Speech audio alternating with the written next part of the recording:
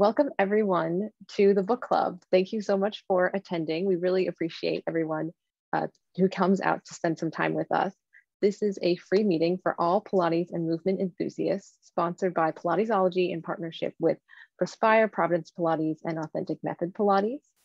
We hope that you'll find fresh inspiration for your workouts, some rest and relaxation, and some fun while reading and connecting with our community. Our next book is Caged Lion by John Steel, uh, as we had to reschedule last month's book due to uh, emergency with the author. Um, but I hope you come and join us for that next month. And if you're here, you probably already know about Pilatesology, but for those who are not subscribers, it's an amazing resource for students and teachers where you can get unlimited streaming of classical Pilates for only $20 a month. If you've not already subscribed, I would highly recommend checking out their vast library of Pilates resources from some of the top teachers around the world. My name is Nabi, and I'm the founder of Perspire. It's an iPhone app created for Pilates teachers uh, to help independent studios create amazing experiences for their clients and thrive in the ever-changing wellness market. It's free to download and use. And if you would like, I would love to personally give anyone a free demo and walk them through it if they're interested. Our moderator today is Cheryl. Uh, Cheryl Turnquist is a Power Pilates master teacher trainer and has studied Pilates since 1999. She is the proud owner of Providence Pilates Center in Providence, Rhode Island, which opened its doors in 2001. Cheryl had a stroke of genius to start a Pilates book club as another fun way for clients and teachers to connect over Pilates. And so that was the beginnings of our club today. Our author today is Wayne Curtis, who is an award winning freelance journalist and has been a contributing editor at The Atlantic since 2005. He has also written for numerous magazines and papers, including the New York Times, Wall Street Journal, Bon App, Men's Journal, American Archaeology, and many, many more. Curtis has also contributed to the popular radio show This American Life. Curtis published The Last Great Walk in 2014, and we are so happy to have him today to speak about his work and his research in writing the novel. So please welcome um, Wayne. and uh, I'm going to hand it over to Cheryl quickly to do some housekeeping. Yeah, so if we could all just, um, except for Wayne and I, if everyone could go on mute, that would be helpful just from a background noise kind of standpoint. And um, since it's a small group, obviously this is being recorded because a lot of people do that, watch this on recording afterwards. But as it's a small group, we can definitely allow for personal interaction more than if it was a larger group. So you can feel free to chat in the chat if you have a specific question while we're talking, or there's a raise your hand icon down below in the reactions, and that will kind of pull you right up so we can see. Um, or if it just feels better to do one of these, you can always wave at us too, and we'll get a hold of you. Um, I want to thank Wayne for joining us today. Um, I know he's been on some travels, and um, thank you, Wayne, for taking the time to meet with us and, and discuss your book with us. I appreciate you being here. Sure, it's my uh, my pleasure. Nice excuse to get a break from uh, doing liquor related stuff today. Yeah, I, yeah, I was looking at your bio that you're um, been writing some um, articles, and um, I don't know if you had a book with it of, on spirits and um, uh, cocktails and different types. Is there a certain one that you are more privy to than others? The uh, the thing that started all was in 2006. I, I, wrote a book about the history of rum and the rum's role in the development of North America through the from the American Revolution through the slave trade through you know, popular culture in the present day. So that's got me started, but since then, I've been writing about different aspects, mostly pop culture and history of spirits and cocktails and bars. Very cool. Yeah, I, and I wonder, have you uh, found that COVID has changed anything from the uh, intake or anything like that of certain changed spirits? Every, changed everything. Um, yeah, I'm sure. all the bars closed, so people started yeah.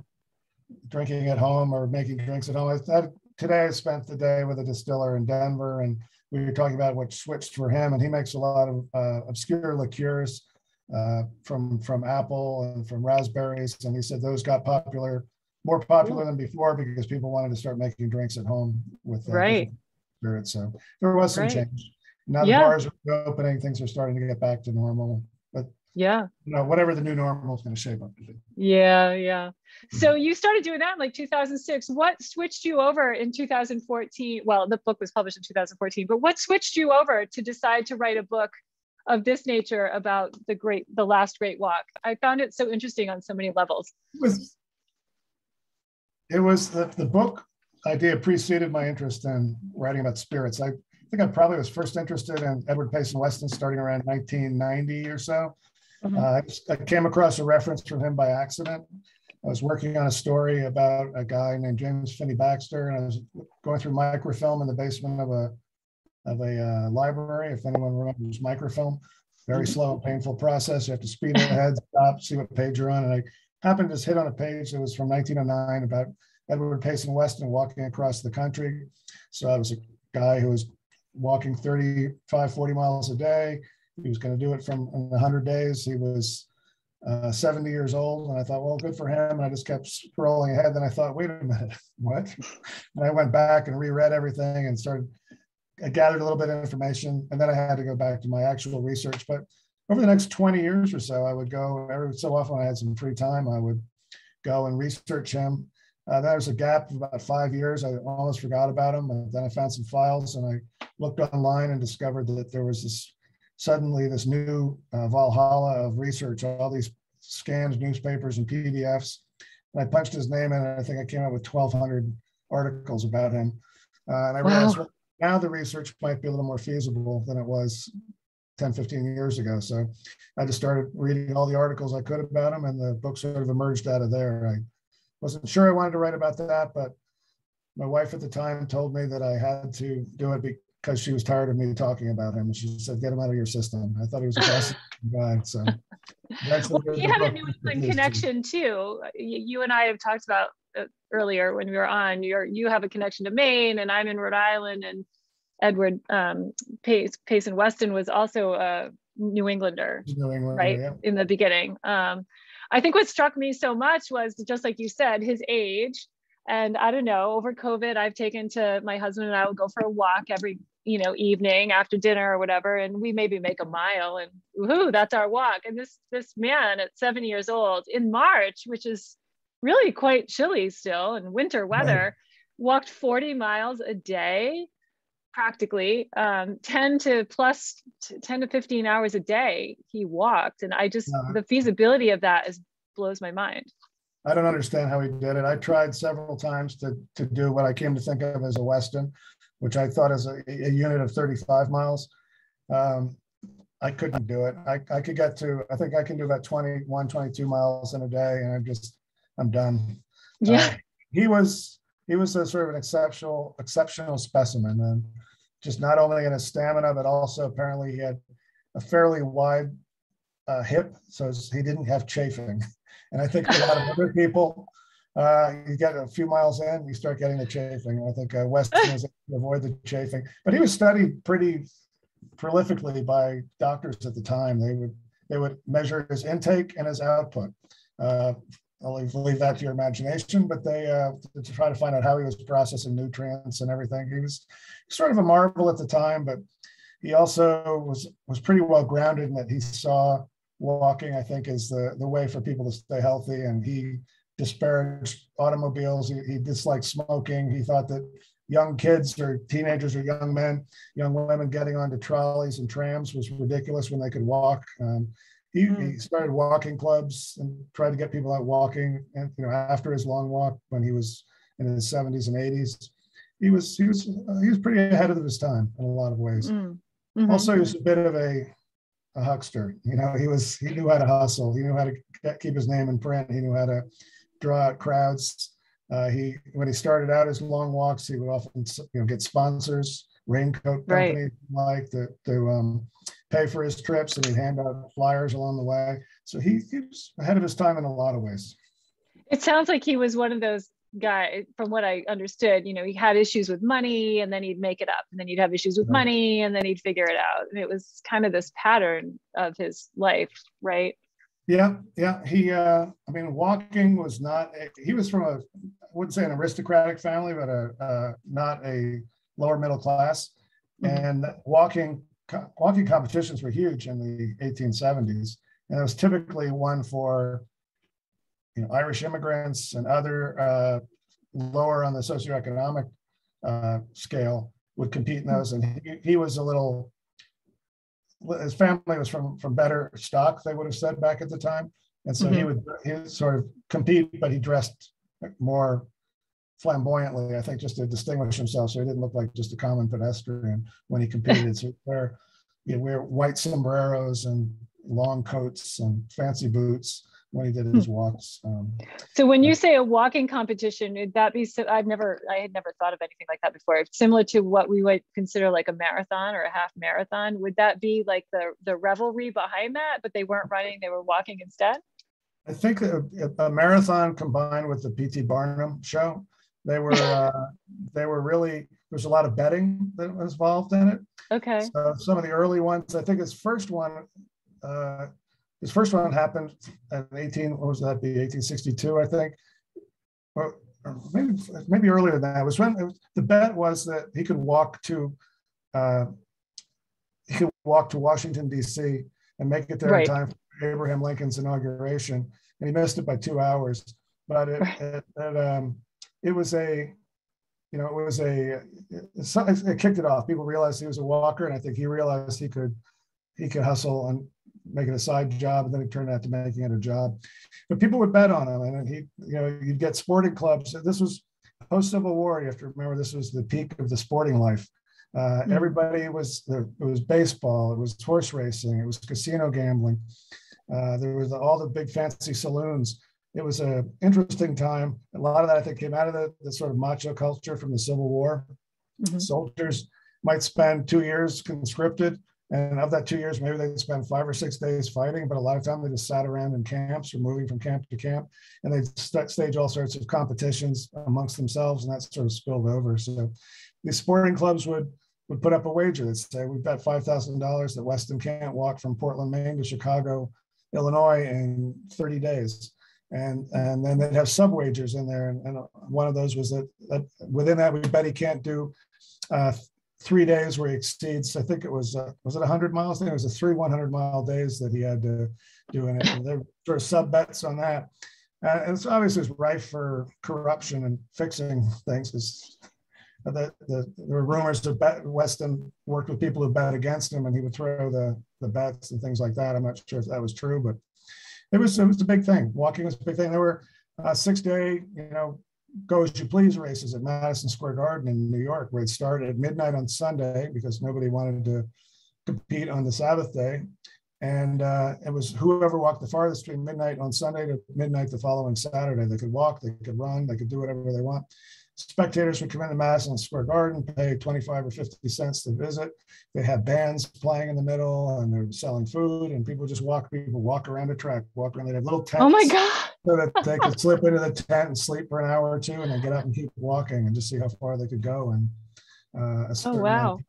this was all late 19th century. It was, uh, I'm also thinking like, what kind of shoes did they wear? They didn't have their Hoka ones on or their Nikes. Like they were probably wearing really hard. What were they wearing? Bare feet? No, they were uh, they wore heavy boots. Weston wore heavy wow. boots. I some others had some lighter ones, but Weston had uh, he had boots. His boots custom made. He even provided the uh, cow for the leather because he was convinced his competitors was going were going to sabotage his boots somehow. So he was very oh. secretive about his boots. And uh, yeah, he um, he uh, he walked in big heavy boots. He he had he had uh, he, he would pour whiskey down his boots to for to he believe that prevented blisters. So oh. uh, he would always have a flask of whiskey. One of his his support people behind him would he would toot the whistle and they'd come up with his whiskey and he'd pour it down his boots just to keep his feet. I don't know what that, I, I did not try that. I Who would have thought? Yeah.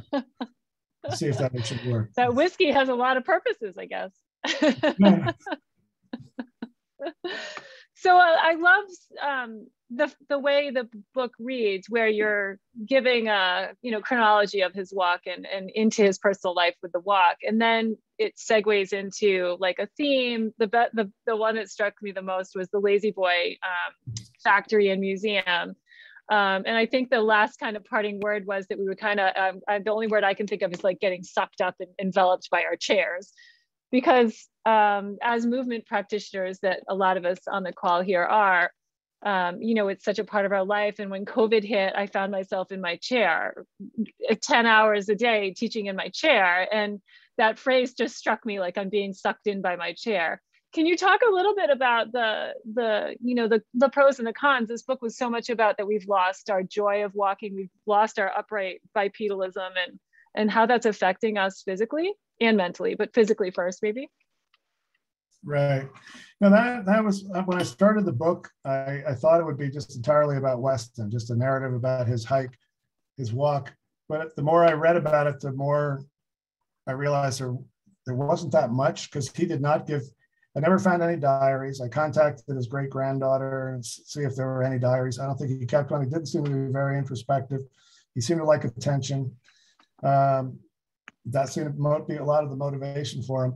So I was looking for other aspects. One of the aspects that struck me right from the beginning was that there were these huge crowds that came out to see him everywhere he went. There was something like 10,000 that saw him off in New York, probably an equal number that saw him arrive in San Francisco even small towns they would show up, people would line up for a mile outside of town just to watch him walk by.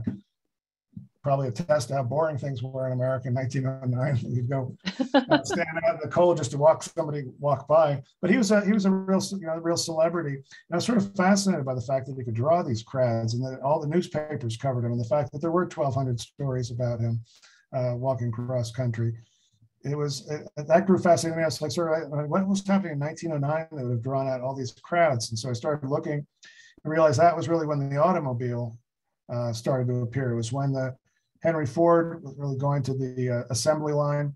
It was when uh, lots was going. It was the first race of the uh, Indianapolis 500 was in 1909. The okay. Wright brothers, we started getting airplane flights happening uh, in 1909. So, and then he had uh, uh, Marchetti, uh, who was uh, wrote the Futurist Manifesto, and he, his whole thing was slowness is something of the past, speed is of the future, and he sort of had a, a, lot of followers on that. And I just sort of felt like 1909 was sort of a turning point. So that's why I called the book "The Last Great Walk." And I realized we evolved as humans for two and a half million years to walk we walk well. It's extremely energy efficient. Uh, you know, I think people are frustrated they don't burn more calories when they walk because we evolved not to uh, do that. We evolved to do it with minimal energy consumption. But it's it's a it's a remarkable thing, and I started wondering, well, what happened in 1909? And, and I sort of felt like Weston was almost like the, the John Henry story, the last of the great walkers. And uh, New York Times referred to as the first the first bona fide walk across the United States. The first one was documented from end to end. Um, but it was really the last of the last of the, the dinosaurs, and I think that that's why what people started coming out and why I sort of felt there's a bigger story here about what has changed. And started researching and to find out why how many miles a, a day people might have walked back uh, in 1900, 1850, 1800 not that much research on that. So I had to do a, use some proxies on that, try to figure out what was happening uh, at the time. And then there are more figures on how much contemporary Americans and others walk uh, per day. So it's sort of interested to find out what was happening. It looks like we're walking uh, half or less than what we used to do. I think some of the more interesting research was uh, sort of reverse engineering how much we walk by just like, how is the body designed to consume calories per steps and sort of figure out what it was that we were doing back then. Generally, it looks like we were probably engineered through evolution to walk eight to 12 miles a day. And the average American uh, today is walking somewhere around two and a half miles a day.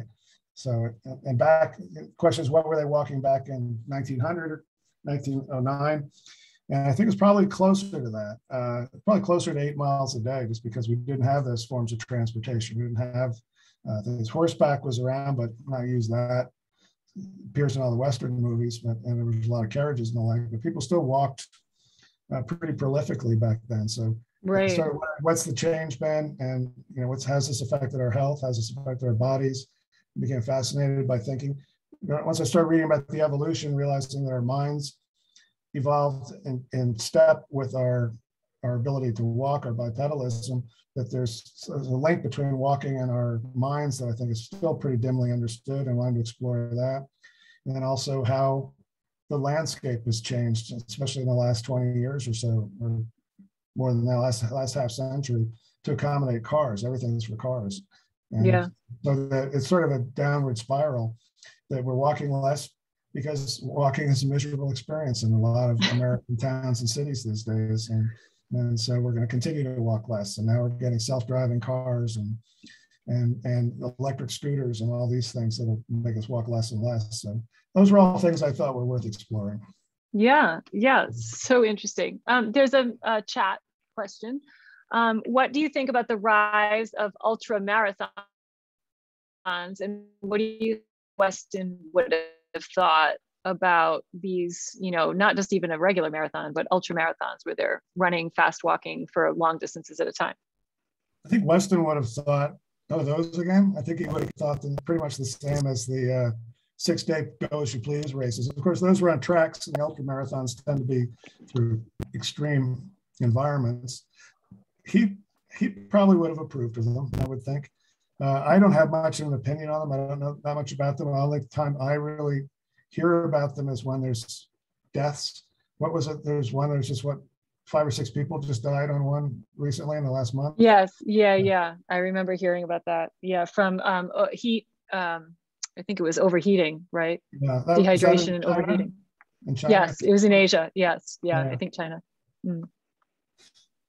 Um, so I, I, I don't know that much about ultra marathons. I, I'm it's like plenty of other things. I think who does this and why? because it's, yeah. it's too extreme.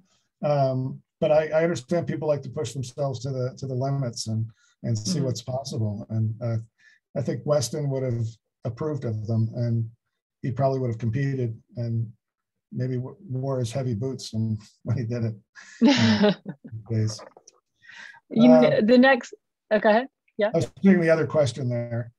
Oh, yeah. So I was actually going to say, um, in, when I, for my 40th birthday, I really, really, really wanted to walk the Camino to Santiago, uh, northern Spain. And uh, unfortunately, the gal that I was going to do it with became pregnant with twins and there there it goes. We didn't do it. So um, but that to me is a route. Like uh, what caitlin's asking are there any routes that one could walk across the united states? I know you said the one weston took is not is no longer possible i don't right. know of any other than the appalachian trail which goes north to south are there any that go west there is, east there is one that uh, guy named uh, a couple named eric seaborg and ellen dudley pioneered i think in the late 90s called the American Coast Trail, or Coast to Coast Trail, maybe. They walked the whole way and tried to link existing trails, and then tried to link where they couldn't find existing trails. They tried to find back roads that were, you mm-hmm. know, more reasonable for walking on. Uh, you know, even Weston didn't have a trail that he could walk on. He made it to Chicago on back roads, and even then, the back roads petered out. He had to follow railroad tracks uh, almost all the rest of the way to San Francisco. So it's it, it, that's not feasible. But I think that that one I can't remember what the name of it is. Um, just have a quick look here. Uh, it's called the American Discovery Trail. That's what it was called. 4,835 miles. Uh, I, I, don't know how that has uh, held up since they first did it, which I think was in the mid to late 90s. So uh, I'm not sure if it's still, they, they formed an organization that was, the idea was to help promote and maintain it and put signs up for it, maybe establish campsites along the way. I don't know what's come of it. I have not followed uh, that, but it's uh, be worth checking out. It's the American Discovery Trail. I do think I read something recently. There was another one that was being established. So there's definitely demand for it. Problem yeah. is, you got the Midwest, which is not high. You know, people want to go hike the mountain ranges. right, right. Walking, the appeal. The, the from from Utah across to the Appalachians is a it's a lot of roll, rolling hills at best. So it's right, right, right, and and weather that's yeah unknown and sporadic yeah. Well, I think so, the topography sort of conspires against the coast to coast trail, but it can be done. that led me to a question about the, you know, somebody could say, well, I walk eight to 12 miles on a treadmill versus I walk outside. And to me, it's not even the same kind of thing. What are your thoughts on that? Because what I understood from this was also the, the environment, the landscape, again, all those things you talked about, about the land and the feedback that we're getting to our senses from that as opposed to just walking on a treadmill. Do you have any thoughts about the differences? Yeah, I think that uh, as far as physiological impact goes, there's probably less. I mean, you're getting if you're stepping up and down curbs and steps and going up slight hills and coming down hills, you're working different muscle groups and all, as opposed to just doing the same thing on a treadmill, even you know one that automatically goes up or down to simulate inclines. But um, so I think physiologically it's not that big a difference um, between treadmill walking, but psychologically I think there is. I know there's been studies on creativity. Um, they've asked there's a test for creativity where they ask you to, to fill out um, some answer some questions and come up with as many answers to you know, things that whoever comes up with the most answers as well as the most unique answers uh, scores higher on the creativity test. And there's been a programs at universities where they tested students who were on treadmills. Uh, they did treadmills. They were just in a room with a blank wall. They did treadmills where there was a screen where they sort of simulated walking through the countryside. And then they had people actually go out and walk through the countryside and take the creativity tests before and after. And they found that the uh, walking outside in an actual environment uh, boosted creativity uh, fairly significantly. Mm-hmm. Uh, mm-hmm. better on those tests. So I I have never been a treadmill person. I just don't. It's not me. Me neither. It drives me nuts.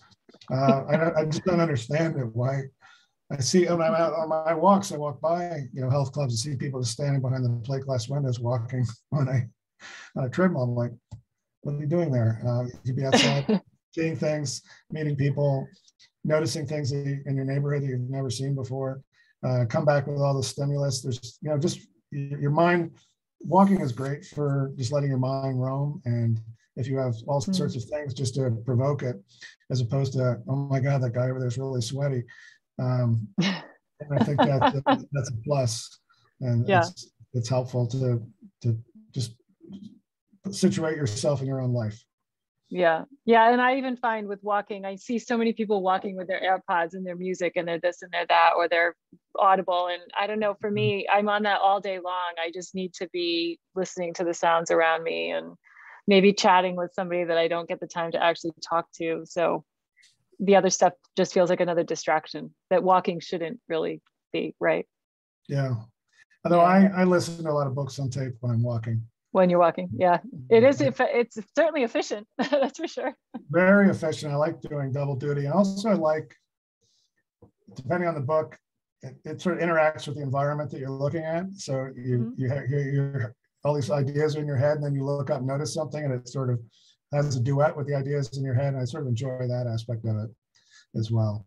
Um, now, do you feel that there's been a, a, a, kind of, you said, a resurgence maybe in the concepts of walking? I know biking, at one point, biking seemed like it had an upswing. Everybody had a bike and was going to bike to work and bike, bike, bike. And I don't know if I really see that so much anymore. Do you feel like there is a resurgence, especially maybe in the more urban city areas of walking?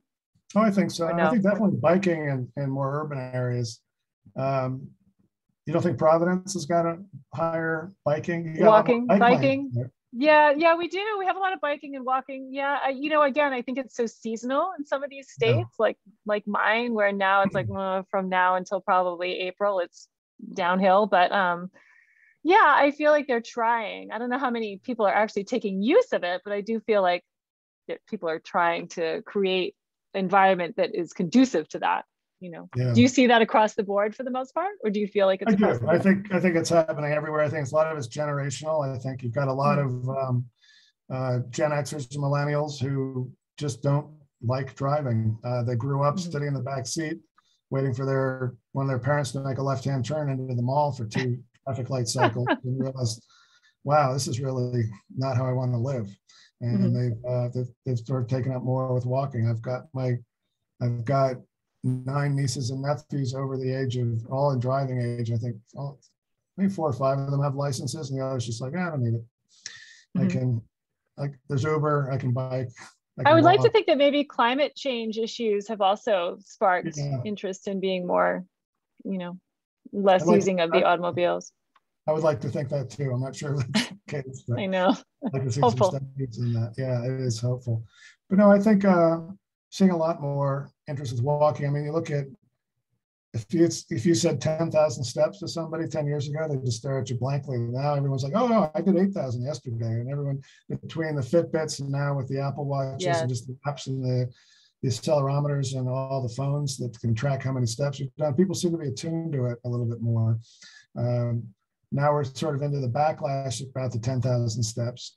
Uh, as doctors point out, that it's not really a magic number. It just comes from the Japanese word um, that meant 10,000 steps because it had a good sound and somebody named a pedometer after that in the 1950s or 60s, I think it was. And then it somehow jumped over to the US 10 or 20 years later and everyone decided 10,000 steps was the magic number. But it just relates to, I think the word is mankope in, uh, in Japanese, if I'm, if I'm remembering right, which means 10,000 steps, which was the name of a pedometer company. so that's Oh, where- wow. where it came from. But at 10,000 steps is about, about five miles, about twice what the average American does. So it's it's a good target. I, my target, I've got got one of these Withings watches that has the dial that's built in that track track 10,000 steps every day. So I can always glance down, see how I'm doing today. Not so good, about 33,000 steps. Um, but it's uh, I think people are more attuned to it. Um, Yeah. The Fitbit, Fitbit really sort of took off, then it sort of faded. But I think that the Apple watches and the other wearable devices are sort of picking up the slack from where that might have left off. So Yeah, the Fitbit didn't have quite enough stuff to it, I guess. Right. not enough toys, and it, it looks sort of utilitarian. It didn't look. Yeah. Well, they tried to make it fancy, but weren't very Yeah, successful. it wasn't enough. Yeah. So Caitlin here wrote that, um, oh yeah, Caitlin, the blue bikes or the city bikes, and even in my, in Providence, they have a lot of those scooters, like electric Oh, scooters. yeah. Um, so more walking and biking or some kind of an electric type of mobility. And the, the bike share programs that seem to have done well pretty much everywhere they've appeared, and, and that's a great thing. And at the very least, it gets people off the streets. I think electric bikes are great things. So people, a lot of people go, oh, I don't like electric bikes. They're more expensive than regular bikes, and they don't take as, you know, I don't get as good exercise. I think, well, you shouldn't be comparing an electric bike to a bike. You should be comparing it to a car. Right. And that's what they're sort of used for to get around. They're very efficient for that, and and it takes another car off the road, and it's. I think electric bikes are great, and a lot of the blue bike programs are now electric. New Orleans has switched over to electric. Here in Denver, they're electric. Um, so I think that's a good thing. And again, Yeah. I don't see I don't see electric bikes as competing with bikes, but more as with cars and even with uh, mass transportation with, with transit. Mhm, mhm. Right. Um, Vivian wrote, oh, this is sweet, Vivian. There's a man who walks constantly around the town where she used to live, and he was a bit mentally handicapped, and walking was the thing that kept his brain calm, and that it was sort of beautiful. And I, I can totally see that. Like you can envision that being a calming thing for somebody who might not have other things for him. Yeah, I think there's a there's a history of of people walking uh, who had some sort of mental illness or another, and they would go. There's there's great accounts of, of towns in Ohio where somebody would walk in from from Boston or something, and it, sometimes he might have a vision or uh, trying to find acolytes, but they would just keep walking and walking and walking. Like probably Johnny Appleseed might, might Yeah. fit into that category, um, according to some accounts. So it's it's I think there is a connection between mental health and walking, both for, Mhm. as a as a salve and as a palliative, as well as to help uh, those who even have uh, good solid mental skills to keep them longer in life as they Mhm. age. hmm Um, and this actually kind of leads into that. Were people during this time, going back to the early 1900s, um, thinking of walking as fitness, or was fitness not really a concern? I mean, I'm sure it wasn't uh talked about like it is today, but was it was it in think- those in that vein? Well, there, there was, I mean, there's fitness, there were the medicine balls and, and uh, that was all, I think that came out of the sporting, sporting life, the gyms, the boxing gyms. Mhm. Uh, there- I think that was a, a thing in the late 1900s. Walking, I don't think was as much part of that uh, Mhm. because everyone walked. So it was sort of a, a uh, it was just a standard thing. You didn't have to, it didn't have to be a separate thing that was related to fitness. Uh, it was just something that you did. Uh, the walking competitions was that was more something to bet on than I think it was to, to show people's prowess for being fit. Weston seemed to understand that there's a fitness component to it, at least later, and used to preach about that quite a bit when he gave his talk. So he would he would walk his 35, 40, sometimes 70 miles a day. He'd show up in a town in the evening, walk right to an auditorium and get up on the stage and give a 45 minute or an hour lecture on the benefits of walking.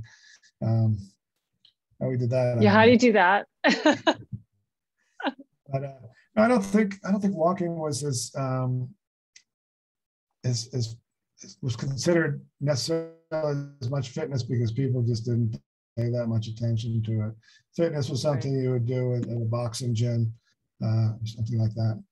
So I see Caitlin mentioned Tom Hanks and uh, yeah, that uh, yeah, and then the uh, Forrest Gump with yes. walking, walking, walking. Yeah, there's another connection between mental health and walking.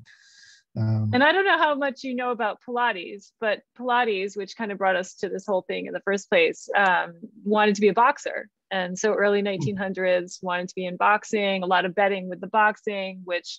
I wouldn't have really even thought about where the betting came from and all of that. But um, again, looking at it as more physical health and well-being and preventive medicine than necessarily, I think, the way we see fitness today. So it feels like it all kind of segues into yeah. the same place I don't, you know? I don't know about pilates. That's interesting to me that it, that started with with boxing. Yeah. yeah yeah yeah. So he wanted to be a boxer and lo and behold it took a different path. But i mean actually vivian just wrote in pilates we start with what we call footwork. That's to bring the mind and body together working the points of our feet and there's an exercise called running which is kind of like prancing but there's exercises to almost stimulate the functionality of walking hmm and how it does all come together. So, yeah. you know, while they seem like separate entities, they really are in the same, they have the same place. Very cool. Um, yeah. Wayne, I know you had some pictures and, oh, Pilates used to, yeah, oh yeah. Navi wrote, Pilates used to run around Manhattan every day. He did. In fact, he was in his tidy whities. So Wayne, Joe Pilates that Pilates is named after, ran around New York City with just his boxer briefs on in the cold. So he agreed with that too. Um, Wayne, I know you had a few photos and a short clip. Could you show some of that? Yeah, the uh, the clip was well. The other get let me get the um, the photos. This this was uh this is Weston. I think not sure the date on this. Uh, probably around around the time of his walk, 19, 1910. Hmm. Um, here's a shot of him. This is in Minneapolis. This is him right in the center in the white shirt or center of the crowd. Everyone sort of gawking at him as he was walking through one of his later walks, 1913 afterwards. This was, uh, I believe, coming into Chicago. And this was interesting to see. He was terrified of crowds coming in and stepping on his feet. He could barely make out a white line uh, around that, he had a group of men form a circle with a rope that preceded him. So he was in the center of that that uh, that white line that to keep the crowd back. He had cops and on uh, horses up front. He had a support car behind. Probably that car to the lower right of him is uh, probably VIPs of some sort, or just out accompanying him along there. Uh, pretty intriguing uh, celebrity at the, of the time. This is a uh, map of his route. Not he could have done it in 100 days. I, one of the things I had to figure out was why, when he left New York, did he go up to Albany before he made a left? Why would he just go across the Hudson and continue on from there? He probably could have done it, shaved off his five days there. But uh, at first, I thought because it said elsewhere that he he uh, didn't like to cross bridges. He thought that was cheating. He wanted, or he didn't want to take ferries. He had to cross. Yeah. He would cross on bridges and he'd walk across, but he wouldn't take a boat across. And I thought Albany was the first one up there. Then I came to learn that there was the bridge in Poughkeepsie was open and the railroad bridge there probably in 1880s. So he could have gone left at Poughkeepsie. But I think what it was is he did a lot of, of walks across New York State from uh, from Boston, from Portland, Chicago often the destination. I think he just, I think it was, sentimental, and I think he knew he had a lot of support there. That he would get free hotel rooms, people would bring him uh, meals, they'd bring him, there'd be crowds. I think he wanted the attention, is my guess, why he went up. Then uh, he had a support car as far as Chicago, and then uh, the support car dropped out because of some disputes over financials. And uh, so he was on his own from Chicago the rest of the way. And as I mentioned earlier, he did that mostly on the railroad tracks, uh, following along there. And he had the railroad company cooperated with him. He could drop his his his luggage, his bag off with a rail depot and just put a note on it where he wanted it delivered. And and 30, 40 miles up the road, they just drop it off at the depot there and he would pick it up so he could keep supplied that way. Also, they, they brought him ice and water along the track. They'd slow down and toss it out to him. So he had that. Then the, the clip that I had, which fascinates me, and this was from 1909. Um, this, right, this was just a few days before the so 1909, before the San Francisco earthquake, 1906. Uh, just a few days before the earthquakes, marked the uh, the market down at the water in the distance. It was just shot from the front of a cable car, and this this fascinates me. How you know now everyone's like everything's sort of fixed. You, there's sidewalks for walkers. You go cross it to crosswalks. Uh, if you cross it other places, you're jaywalking. The cars have the right of the road. But this was a, an era when no one had sorted out who had the rights to anything yet. So everybody had everything, uh, whether it was bicycles uh, or pedestrians or horse carts or cars, and everyone just sort of wove around uh, in front of each other, and it, it, seemed to work out. This is there's a now I, like the bike here is fascinated by the movie camera on the front of the the car. Another one just shooting across, cop walking by like everything's normal, stuff for that camera in front of the thing. Uh, but it's a it's sort of fascinating to me that this is how it was. And then it's really in the 1920s that the automobile industry began a very concerted effort to chase pedestrians off of the road because they wanted to go faster. At this time, 20 miles an hour was uh, was a max. Uh, the original one, original cars went four miles an hour, which was the speed somebody could run in front of them waving a red flag, which was required uh, when they first came out. That was in England. But they, uh, the time, you know, the cars were still considered interlopers. If there was an accident, then uh, between a pedestrian and a car, the car owner was always arrested uh, because it was oh my god because the pedestrians uh, it was their space and the cars were interlopers. Uh, by, by the 1920s, the uh, AAA clubs had started to form and lobby for the rights of cars. The, the word jaywalker was invented um, just to, to make people who crossed uh, the roads not at the intersections feel like they were being idiots because Jay was a Jay was slang for some hick from the small town who didn't understand where he was. So they started referring to jaywalkers to make the, and urban people didn't want, want to be thought hicks from a small town. So they, you know, stepped up. and then you started getting in the traffic lights, the, the crosswalks. Uh, and then the, uh, other thing that fascinates me is uh, something I learned about on the in the research is the uh, edge of the road was called the verge.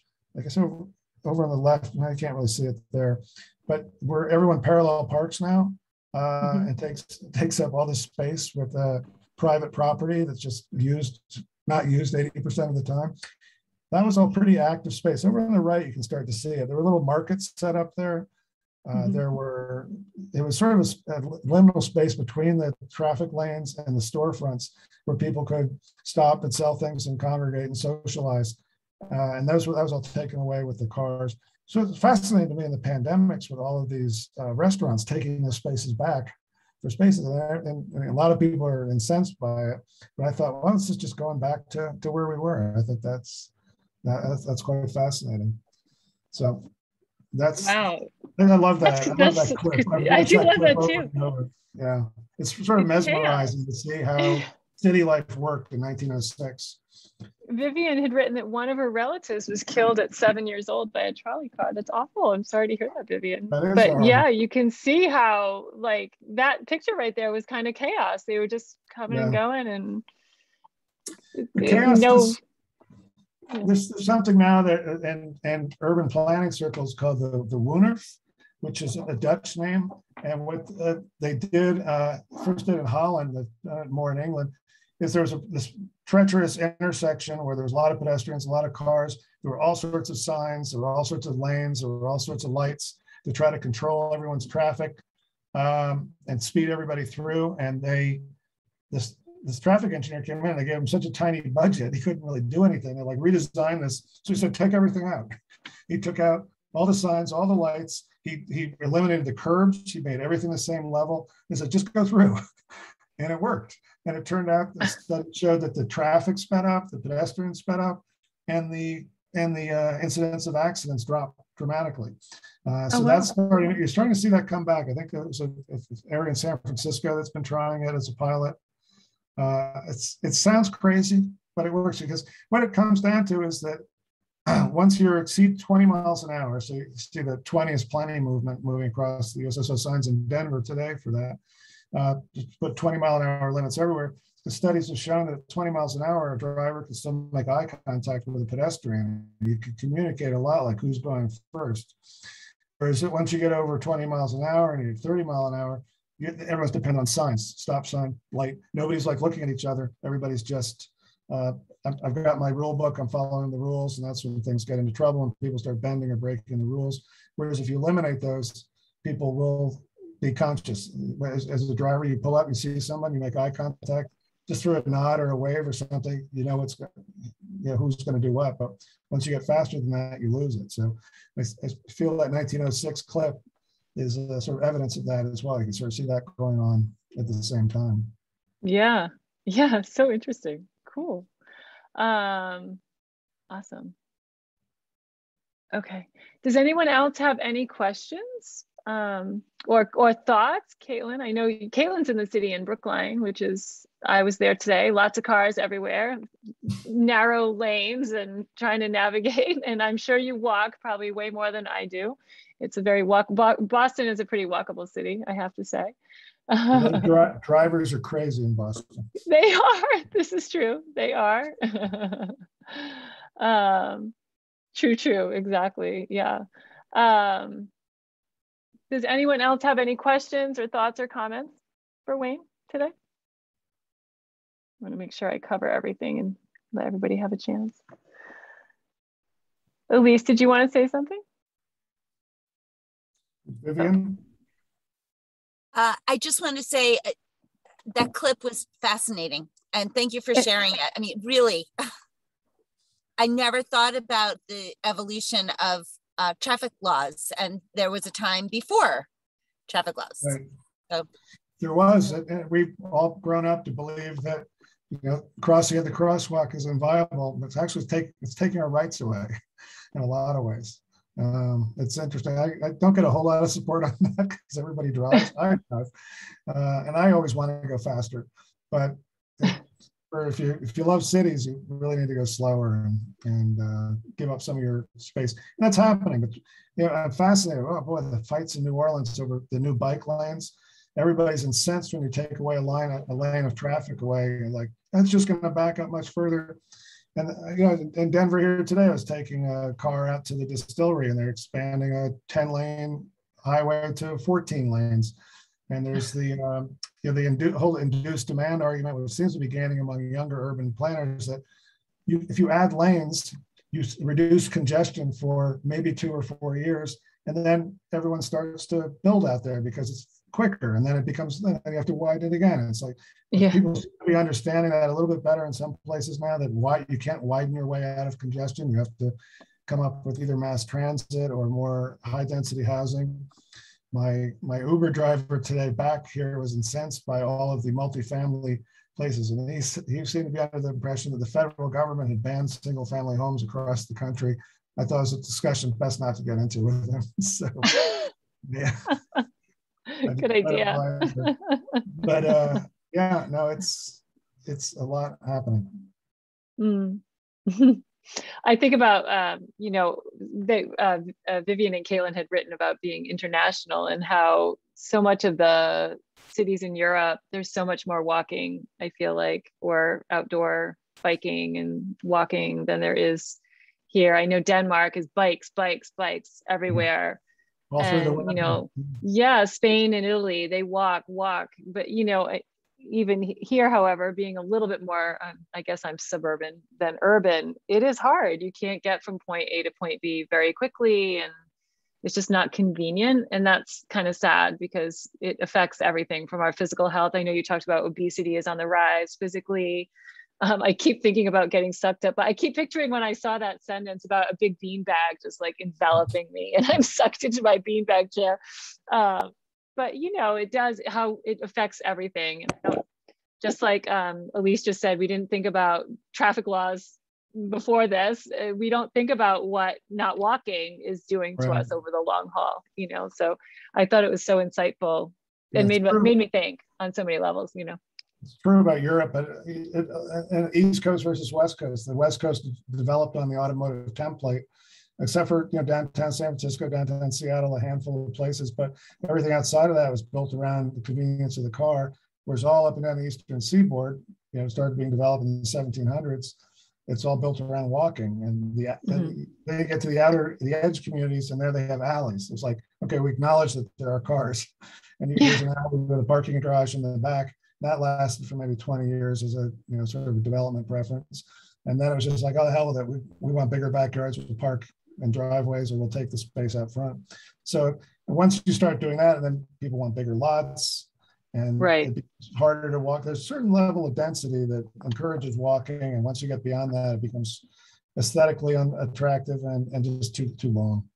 Yeah. Well, and at this point too, dangerous. Everybody's driving with their cars and their cell phones in their car. And you yeah. know, I I find it scary. I I always am very much on the alert. I would never walk at night like Payson, uh, like um, Weston did, because it would be dangerous. You know, so yeah. that's kind of sad that it. Yeah. Well, when he was walking, probably very few cars out at night. So. Yeah, yeah, definitely not with cell phones. no, not yet. Not yet. Well, thank you so much, Wayne, for taking the time out of your day to have this conversation with us. It was really um, insightful and enjoy and I enjoyed it very much. I, I loved reading the book. Um, I got a lot out of it and it made me think and have conversations with others that I might not have talked about these topics. So I appreciate that. Thank you. My pleasure. Thanks for the invite and uh, good luck with your book club and your future thing. Sounds great. Thank you. Yeah. Thank you. And when you write something about whiskey, we'll be, I don't, I don't, not a fan of the whiskey, but we'll, I'll definitely be interested in seeing what you have to say. we have and I think uh, Joe used to drink what? What was he, what did he used to drink, Joe Pilates? Um, Wasn't he a whiskey drinker? I think it was whiskey, right? I think so. Yeah. Yeah. Yeah. Thank you. That down quite a bit of it. really interesting. Really yeah. nice. Thanks for the invite. Good luck. Have a Thank good you. week.